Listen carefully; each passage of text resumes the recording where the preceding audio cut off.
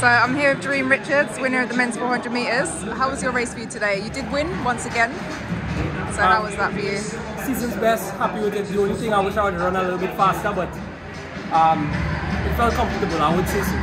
When did you know that the win was yours? As soon as I got the break. Okay. Yeah.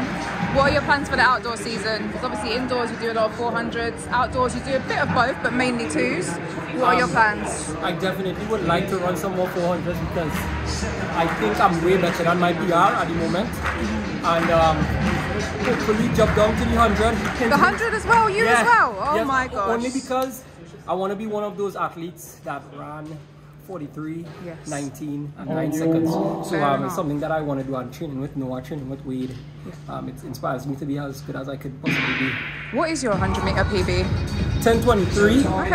and I win the 1016. Would you join the TNT um, 4x1? If, it, if, if I'm available and it fits in the schedule, of course. Okay, I think um, as well for you doing so many 400s, the 4x4 should be a target for you this year. You Yeah, have a gold from was it 2015, 2017, so that should be a target for you for sure. Yes, How about individually?